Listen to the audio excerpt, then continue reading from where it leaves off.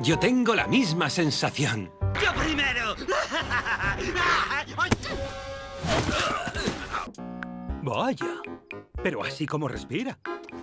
¡Tachán! Anda, vale.